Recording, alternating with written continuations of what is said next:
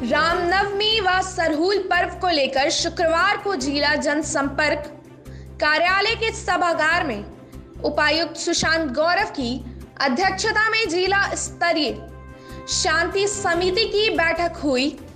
बैठक में सरकार के द्वारा जारी गाइडलाइन का पालन करते हुए ज़िले में शांतिपूर्ण व सौहार्द के वातावरण में पर्व मनाने का निर्णय लिया गया। बैठक में उपायुक्त सुशांत गौरव ने कहा कि पर्व सभी के भावनाओं का कद्र करते हुए लोग मनाएँ। उन्होंने कहा कि समाज हित में सरकार के द्वारा जारी गाइडलाइन के अनुरूप ही रामनवमी, सरहूल व रमज़ान का पर्व मनाया जाएगा। पर्व के दौरान भीड़ भाड़ लिमिट पर रखा जाएगा। खुले में 500 व्यक्तियों के साथ पर्व मनाया जाएगा। जुलूस व रैली पर सरकार के निर्देश के अनुसार पाबंदी रहेगी। सरहुल दोनों पर जो है शांति समिति की बैठक हुई और गुमला ज़िले में जिस प्रकार से मनाया जाता रहा है, हम लोग मनाएँगे। सरकार के दिशा निर्देशानुसार उसके अपने जो लिमिट्स है, उस लिमिट्स में जो पालन करते हुए हम लोग को करना है, वो सभी करेंगे।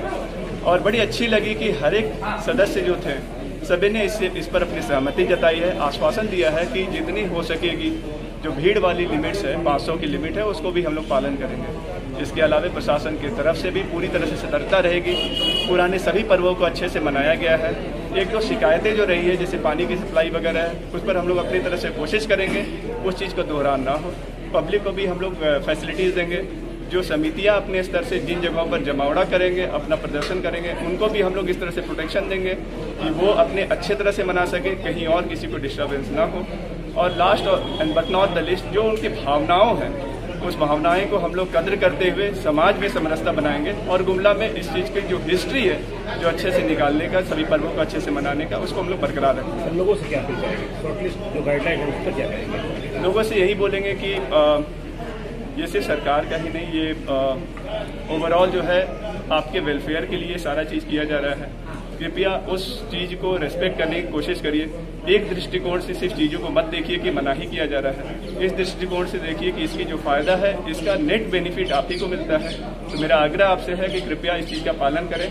आने वाली चौथी लहर से जितनी देर से हम लोग इस चीज़ को झेलेंगे, महसूस कर पाएँगे, उतना बेहतर हम तैयार रहेंगे और आप सभी को प्रशासन की ओर से सेवा दे पाएँगे। इस बार हमारा सरहुल का त्यौहार, रमज़ान और रामनवमी सब एक ही समय में एक सप्ताह के उपरांत पड़ रहा है। तो हम लोग इसमें प्रशासन की तरफ़ से पूरी तरह अलर्ट है, अपनी तैयारी पुलिस की तरफ़ से भी है, हर चाक चौराहे पे ड्यूटी बढ़ गई है।